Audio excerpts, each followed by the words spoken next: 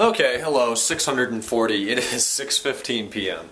So today was an interesting day with the planetarium. That thing was awesome. They brought it up out of the floor in the middle of the lecture hall like 15 feet. They got it in the 60s. It was a couple hundred thousand dollars back then. It is nearly a half a million dollars to replace that thing today. So they don't use it a lot, but it is very cool. Pretty much just looked at how the observer's sky changes around the Earth and how our zenith changes. Those are terms that you may need to look up if you haven't taken a class. I didn't know until a week ago. And now I have done a lot of work and I've taken a shower already, so I'm clean. I actually mowed across the street, so there's more progress. And um, iPhone. Today's the iPhone 5 day pretty exciting, I think. I had class from 110, so I got the first 10 minutes. They actually started right at 1 o'clock. But of course, they talked about the retail stores and the iPhone and the iPad and Macs, and patting themselves on the back for all the great work they've done, which was fine. Uh, but that took up most of the time. So then on my bus ride back to the car for 5 or 10 minutes, I read all the stuff, and it was really nothing unexpected. I kind of hoped there would be that one more thing at the end that would be something that we haven't already heard about. But nonetheless, I'm excited to get it. 4-inch display, um, LTE, which I'm never really cared about a whole lot because the 4G, 3.5G, the 4G, not the 4G LTE, but the 4G here in Ohio is pretty fast already. Used to be faster. It used to be about 12 down, 4 up. Now it's like 4 down and 2 up, but it's still very usable. So now we'll have LTE, which the city of Cleveland has. I don't know if it's gotten down here yet.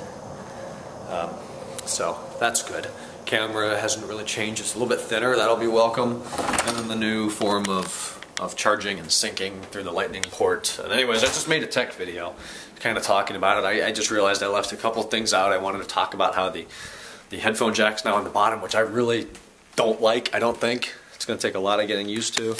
But that is now exporting. I'll get that up on the channel. Uh, no texts. That is good. okay. All right. Talk to you later. I am halfway done to the second with this Cars That Want to Kill You Road Testament with Matt Farah and, uh, and that guy that needs a haircut. Um, and that's pretty interesting. They're talking about 10 cars that are just, they want to kill you, as in the Reliant Robin with one wheel in the front, or this Ariel Atom with a 500 horsepower V8 and 14 pounds of material making it, holding it together. The Vector was in there.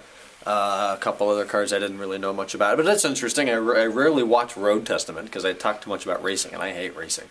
Uh, but this is a good one, like Matt Farah. And the export is almost done, which is good news. Under a minute remaining.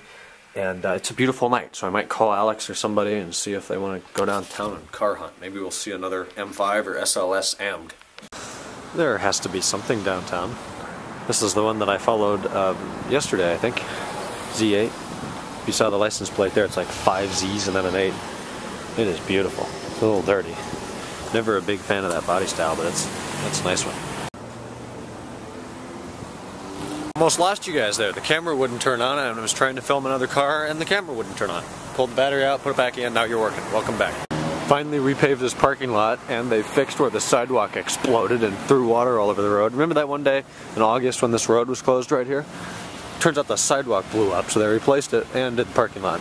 Good job. Does anybody else think that's really ugly? And that? 480, 460 SL.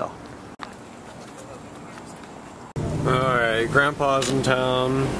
Uh, 560 SL, that's a different one. And there's the Z8. I, I don't know. I, it's an odd look, but it's cool leave me some thoughts below of the BMW Z8. Yeah, uh, when there isn't anything else to do, or anything else I want to do, I guess I do that.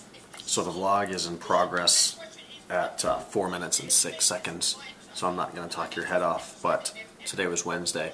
Tomorrow will be Thursday, and I'll talk to you then. Good night.